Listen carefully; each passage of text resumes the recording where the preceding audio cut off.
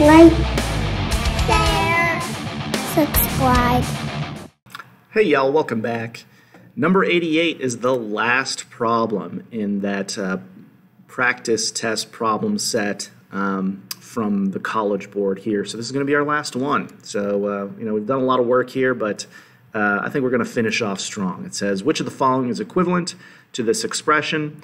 And so I think the easiest way to do this um, is to think about the factors that we have um, and then just kind of factor it out. So um, actually, you know what? I take that back. Instead of factoring it out, I think what we do here is we just do a little distributive property and see which one's equal. So we're going to multiply this outside term uh, by each thing on the inside. So if I multiply that negative 3y uh, by 4x squared, I'm going to get negative 12x squared y. So we're looking good so far.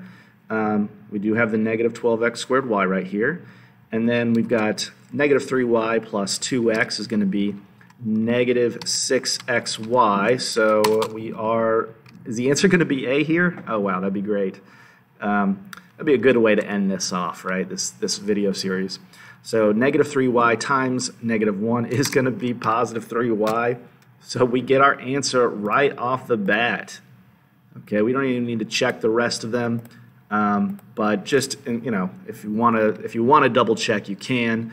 Uh, but b would simplify to negative 12x squared y um, plus, because you got a negative times a negative, plus 6xy, which is not what we want. We want the negative 6y. And then plus 3y. So we can say, up, uh, it's not going to be b. I mean, we already know what the answer is, right? We already know it's going to be a. Um, but we just want to double check here. And during the test, I wouldn't even bother double checking until you know you finish the test if you have time go back. But since this is a time test, you know once you find your answer, just bubble it and move on. Um, so here we've got negative 12x squared y.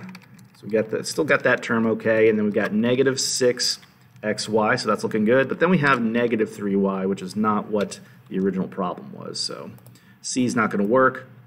Uh, hopefully you can see that D and E are definitely not going to work. They don't even have enough terms here. So negative 12x squared y, uh, what would that be? Minus 6xy.